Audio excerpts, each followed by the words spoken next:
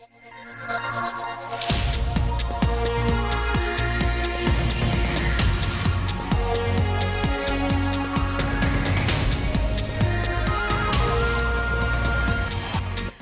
স্বরাষ্ট্রমন্ত্রী সাহারা খাতুন আর নেই। থাইল্যান্ডে চিকিৎসাধীন অবস্থায় মৃত্যু, রাষ্ট্রপতি ও প্রধানমন্ত্রীর শোক। ইটালি নামতে না পেরে দেশে ফিরেছেন একশো সাতচল্লিশ জন। প্রাতিষ্ঠানিক কোয়ারেন্টাইনে আছেন রাজধানীর হজ ক্যাম্পে।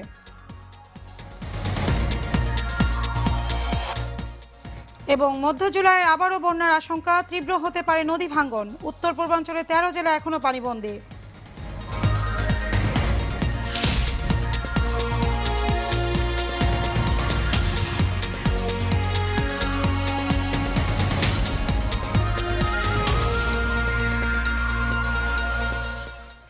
স্বাগত এশিয়ান নিউজে। আপনাদের সাথে আছে আমি মরিয়াম আক্তার ইকো এতক্ষণ শুনছিলেন সংবাদ শিরোনাম, এবার বিস্তারিত। আওয়ামী লীগের সভাপতি মণ্ডলীর সদস্য সাবেক স্বরাষ্ট্রমন্ত্রী অ্যাডভোকেট সাহারা খাতুন থাইল্যান্ডের বামরুনগ্রাদ হাসপাতালে চিকিৎসাধীন অবস্থায় মারা গেছেন। বৃহস্পতিবার ব্যাংকক স্থানীয় সময় রাত এগারোটা পঁচিশ মিনিটে মারা যান তিনি। তার মৃত্যুতে গভীর দুঃখ ও শোক জানিয়েছেন রাষ্ট্রপতি আব্দুল হামিদ এবং প্রধানমন্ত্রী শেখ হাসিনা। জ্বর, অ্যালার্জি সহ বার্ধক্যজনিত বিভিন্ন রোগে অসুস্থ অবস্থায় গত দোসরা জুন সাহারা খাতুন ঢাকায় ইউনাইটেড হাসপাতালে ভর্তি হন। এখন তার অবস্থার অবনতি হলে গত উনিশ জুন সকালে তাকে আইসিইউতে নেওয়া হয়। পরে অবস্থার উন্নতি হলে তাকে গত বাইশ জুন দুপুরে আইসিইউ থেকে এইচটিইউতে স্থানান্তর করা হয়। পরে ছাব্বিশ জুন সকালে শারীরিক অবস্থার অবনতি হলে আবারও তাকে আইসিইউতে নেওয়া হয়। এরপর নেওয়া হয় থাইল্যান্ডে।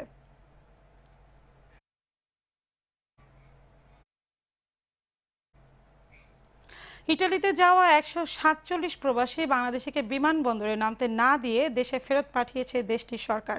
গত রাতে আড়াইটার দিকে কাতার এয়ারওয়েজের ফ্লাইটে হজরত শাহজালাল আন্তর্জাতিক বিমানবন্দরে পৌঁছান তারা। এরপরে স্বরাষ্ট্র মন্ত্রণালয়ের নির্দেশনা অনুযায়ী সবাইকে আশকোনা হজ ক্যাম্পে বাধ্যতামূলক চোদ্দ দিনের প্রাতিষ্ঠানিক কোয়ারেন্টাইনে নেওয়া হয়েছে।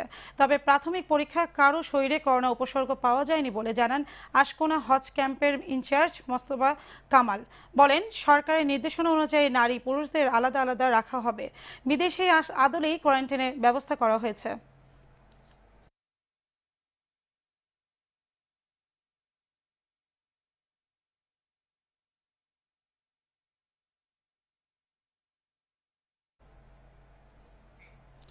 মধ্য জুলাই আবারও দেখা দিতে পারে বন্যা বিপদসীমার অতিক্রম করে সতেরো জুলাই হাই পিকে থাকবে ব্রহ্মপুত্র যমুনা মেঘনা। বৃষ্টি অব্যাহত থাকলে এই সময় পদ্মার পানিও বিপদসীমা অতিক্রম করতে পারে। বন্যা পূর্বাভাস ও সতর্কীকরণ কেন্দ্র বলছে, ভারতের আসাম, মেঘালয়, অরুণাচল প্রদেশে ও বিহারে চারশো মিলিমিটারের বেশি বৃষ্টি শুরু হয়েছে। এর প্রভাবে বারোই জুলাই থেকে ব্রহ্মপুত্র যমুনার মেঘনার পানি বিপদসীমার উপর দিয়ে প্রবাহিত হবে। এতে তিস্তা, ধরলা, ঘাগট, করতা এবং যমুনা অববাহিকায় জামালপুরে বাহাদুর বাদ বগুড়ার সারিয়াকান্দি, সিরাজগঞ্জে বন্যা পরিস্থিতি অবনীত হবে। এ সময় মেঘনা কুশিয়ার সহ সিলেট বিভাগে নদ নদীর পানি বিপদসীমা অতিক্রম করবে। দীর্ঘ সময় নদীর পানি অবস্থান করলে তীব্র হতে পারে পদ্মা যমুনা নদী ভাঙ্গন। এদিকে জুনের শেষে ব্রহ্মপুত্র যমুনা মেঘনা অববাহিকায় এক দফা মাঝারি বন্যা হয়ে গেছে। পানি কমতে থাকায় বন্যা পরিস্থিতি উন্নতি হলেও দেশের উত্তর ও পূর্বাঞ্চলে তেরো জেলা এখনও পানিবন্দী।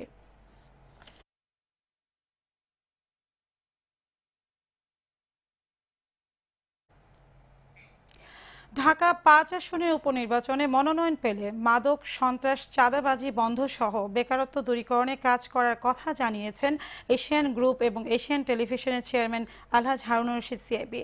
Vote সামনে রেখে এক উঠান বৈঠকে তিনি এই প্রতিশ্রুতি দেন। স্থানীয়রা জানান, যাত্রাবাড়ি ডেমরার উন্নয়নে আলহাজ হারুনুর রশিদ সিআইপির বিকল্প নেই। বিস্তারিত হাবিবুর রহমান পলাশের রিপোর্টে। ঢাকা পাঁচ আসনের উপনির্বাচনকে সামনে রেখে উঠান বৈঠক করেন এশিয়ান গ্রুপ ও এশিয়ান টেলিভিশনের চেয়ারম্যান আলহাজ হারুনুর রশিদ সিআইপি যাত্রাবাড়ি এলাকায় অনুষ্ঠিত এ বৈঠকে যোগ দেন স্থানীয় নেতারা। ঢাকা পাঁচের সকল ভাই বোনরে আমি বলছি, আপনারা সুস্থ থাকেন। মাননীয় প্রধানমন্ত্রী যে নির্দেশ দিয়েছে, নির্দেশ মতো চলুন। অনুষ্ঠানে যাত্রাবাড়ি ডেমরা এলাকার উন্নয়নের ধারা অব্যাহত রাখতে আলহাজ হারুনুর রশিদ সিআইপিকে উপনির্বাচনে মনোনয়ন দেওয়ার আহ্বান জানান বক্তারা। প্রধানমন্ত্রীর কাছে আমাদের আকুল আবেদন। প্রধানমন্ত্রী যেন ঢাকা পাঁচ আসন উপনির্বাচনে এশিয়ান গ্রুপের চেয়ারম্যান আলহাজ হারুনার রশিদ সিআইপিকে নমিনেশন দেয়।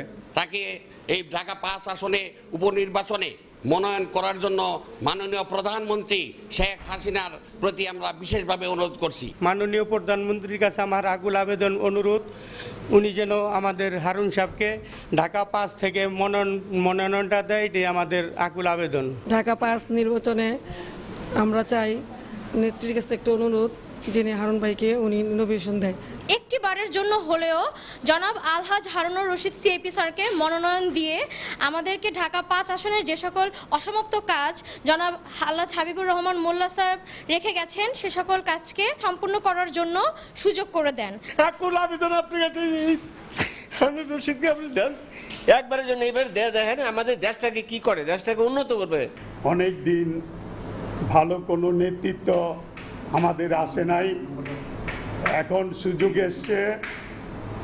আপনি যদি দয়া করে জনাব হারুন ভাইকে মনোনয় প্রত্যয় ব্যক্ত করেন, তাহলে আমরা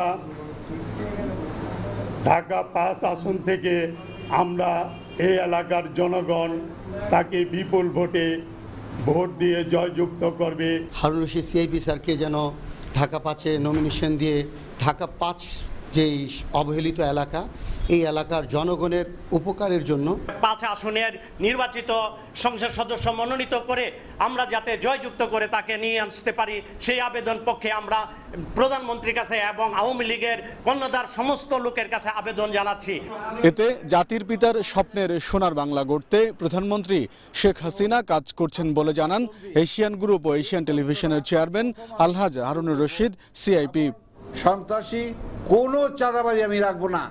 ইনশাল্লাহ আমি যদি আসতে পারি। কোনো নিশাকর রাখব না। এবং এ এলাকার যারা যুবক ভাইরা আছে, তাদেরও আমার যেই শক্তি আছে, তাদেরকে নিয়ে বিভিন্ন কাজে, বিভিন্ন আমি কাজে লাগাই দেব। আমার এই দিক নির্দেশা আমি পূরণ করব। এই ছেলেপিলেদের যেন বেকার না থাকতে হয়। এ সময় ঢাকা পাঁচের উন্নয়নে মানুষের পাশে থাকবেন বলে জানান তিনি।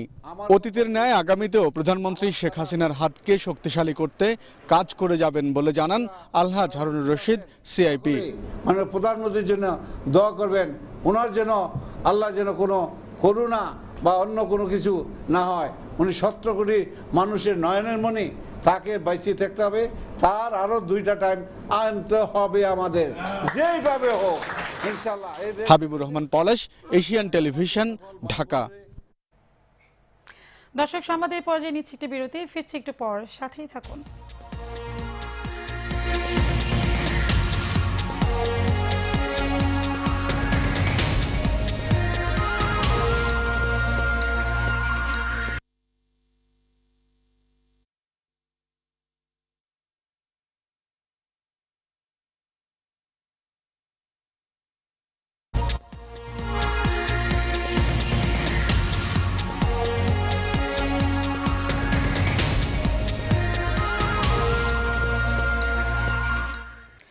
সংবাদ বিরতি শেষে আবারও স্বাগত এশিয়া নিউজে। আপনাদের সাথে আছি আমি মরিয়াম আক্তার ইকো দুর্নীতির অনিয়ম বন্ধে সরকারের প্রচেষ্টা অব্যাহত থাকবে বলে জানিয়েছেন প্রধানমন্ত্রী শেখ হাসিনা। আজকের আমজনতায় এ নিয়ে কে কি ভাবছেন সাধারণ মানুষ জানাচ্ছেন ইমরান হোসেন। শেখ হাসিনা বলেছেন, ক্ষমতায় আসার পর থেকে কে কোন দল করে সেই বিবেচনায় না নিয়ে দুর্নীতির বিরুদ্ধে অভিযান চালিয়েছে সরকার। আগামীতেও এই অভিযান অব্যাহত রাখার কথা জানান তিনি। চলুন দর্শক আজকের আমজনতায় জানব সরকারের এই অভিযানকে কীভাবে দেখছে সাধারণ মানুষ। শুধুমাত্র যদি আমরা করাপশন ফ্রি বাংলাদেশ গড়তে পারি আমি বিশ্বাস করি এইটা টোয়েন্টি ফর্টি ওয়ান যে মাননীয় প্রধানমন্ত্রীর বিষয় এটা অবশ্যই ইনশাল্লাহ বাস্তবায়ন হবে। সরকার প্রধান নিজে সৎপ্রবৃত্তি সুলভ কিন্তু প্রশাসন যন্ত্র সঠিকভাবে তাকে সহায়তা করা উচিত। দুর্নীতি যদি আমাদের দেশে না থাকে তাহলে দেশ উন্নয়ন হবে। এটা আমরা আশা করি। ধরার পরে দেখা যায় যে পরবর্তীতে এগুলোর ওইভাবে অতটা সাজা টাজা বা এরকম হয় না। দুর্নীতিবাজরা তো দেশের ভালো চায় না তারা দেশের ক্ষতিই চায়। তো তো যেই হোক তার শাস্তি দেওয়াটাই আমরা কামনা করি। বিচার ব্যবস্থাটা এতটাই কড়া করতে হবে যাতে মানুষ পরবর্তীতে এই বিচার দেখে এই দুর্নীতি করতে সাহস না পায়।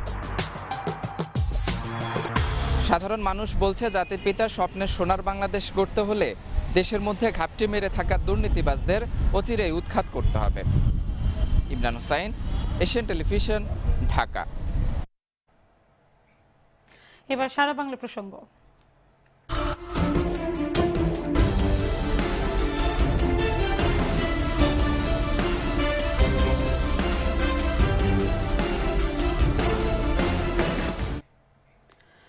সুনামগঞ্জ সুনামগঞ্জের সড়ক ও জনপদ অফিসের নির্বাহী প্রকৌশলী জহিরুল ইসলামের বিরুদ্ধে ওঠা দুর্নীতির অভিযোগে তদন্ত চলছে। সিলেট সড়ক সার্কেলের তত্ত্বাবধায়ক প্রকৌশলী মোহাম্মদ আনোয়ারুল আমিন জানান, চলতি বছর আঠাইশ জানুয়ারি সুনামগঞ্জ সড়ক ভবনে যোগদান করেছেন নির্বাহী প্রকৌশলী জহিরুল ইসলাম। গত এগারো মাসে তার বিরুদ্ধে নানা অভিযোগ পেয়েছেন বলে জানান তিনি।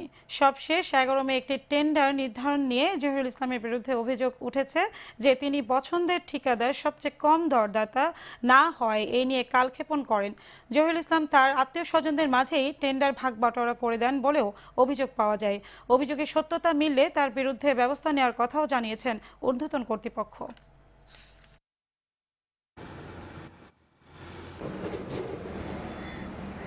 একটা কাজের সাক নম্বর, অন্য একটা কাজে ব্যবহার, এই এই সংক্রান্ত। আরেকটা হলো যে ওভারহেড সাইন সিগন্যাল স্থাপন না করে বিল দেওয়া হয়েছে। দুটো অভিযোগের বিষয়ে আমি বিস্তারিত প্রতিবেদন সুনামগঞ্জ থেকে পাওয়ার জন্য আমি পত্র দিয়েছি। বিস্তারিত প্রতিবেদনটা এখন আমি পাইনি। যদি এই বিষয়ে কোনো অনিয়ম পরিলক্ষিত হয়, নিশ্চয়ই বিষয়টি ঊর্ধ্বতন কর্তৃপক্ষ বরাবরে রিপোর্ট করা হবে। গাজীপুরের শ্রীপুরে সরকারি সড়কের উপরে প্রভাবশালীদের মাটি ব্যবসা করার কারণে প্রতিনিয়ত ঘটছে দুর্ঘটনা। এলাকাবাসী জানায়, উপজেলা নয়নপুর বড়মি সড়কের তালতলি মুগিরবাজার এলাকায় সাবেক ইউপি সদস্য জয়নাল হাজারি মাটি ব্যবসা করায় প্রায় কয়েক কিলোমিটার সড়ক জুড়ে তৈরি হয়েছে খানাখন্দ। সড়কের ওপর মাটি থাকায় বৃষ্টিতে সড়ক পিচ্ছিল হয়ে গেছে। এতে নিয়ন্ত্রণ হারিয়ে অটোরিকশা, মোটরসাইকেল সহ বিভিন্ন যানবাহন দুর্ঘটনার কবলে পড়ছে। প্রশাসনের কাছে জানিয়ে কোনো সুফল মিলছে না বলেও অভিযোগ করেছেন স্থানীয়রা।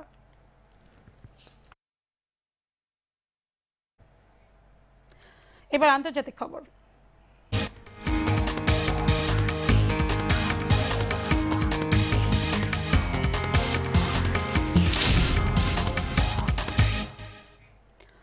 আবারও করোনা রেকর্ড সংক্রমণ দেখল বিশ্ব।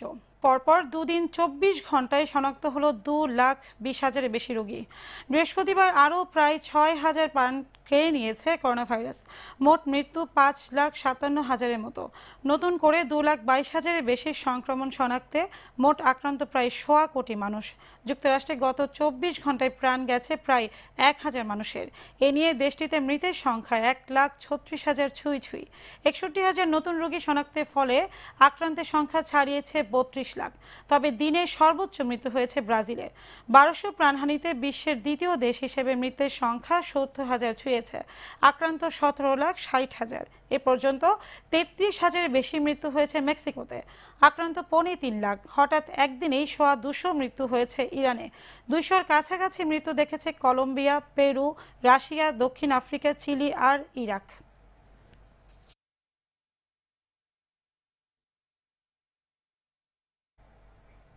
এবারে খেলার খবর।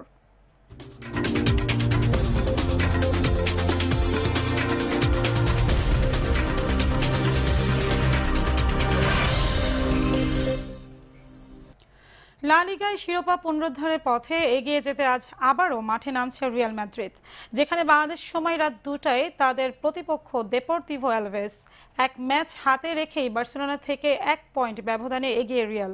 তাই আজ জয় পেলে আবারও চার পয়েন্ট ব্যবধানে এগিয়ে যাবে লস ব্লাঙ্কোস। লিগের বাকি চার ম্যাচ থেকে আট পয়েন্ট পেলেই রেকর্ড চৌত্রিশতম লা লিগা শিরোপা ঘরে তুলবে গ্যালটিকরা। দুই হাজার ষোলো সতেরো সালে সর্বশেষ লা লিগা শিরোপা জিতেছিল রিয়াল। তবে আজকের ম্যাচে দলের অন্যতম সদস্য ভিনিসিয়াসকে না পাবার জোর সম্ভাবনা রয়েছে। সবশেষ করোনা পরীক্ষায় তার ফলাফল পজিটিভ অথবা নেগেটিভ কোনো কিছুই না আসায় দেখা দেয় সমস্যা। তবে রিয়াল কোচ জিদান জানান, ম্যাচের আগেই তার দ্বিতীয় পরীক্ষার ফল আসবে এবং তাকে মাঠে পাবেন তিনি।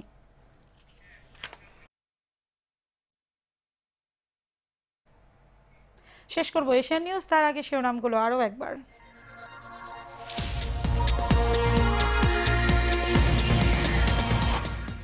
সাবেক স্বরাষ্ট্রমন্ত্রী সাহারা খাতুন আর নেই। থাইল্যান্ডে চিকিৎসাধীন অবস্থায় মৃত্যু, রাষ্ট্রপতি ও প্রধানমন্ত্রীর শোক।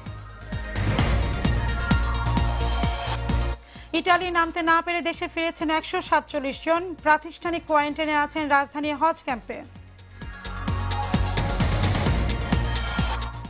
এবং মধ্য জুলাইয়ে আবারও বন্যা আশঙ্কা, তীব্র হতে পারে নদী ভাঙ্গন। উত্তর পূর্বাঞ্চলে তেরো জেলা এখনও পানিবন্দী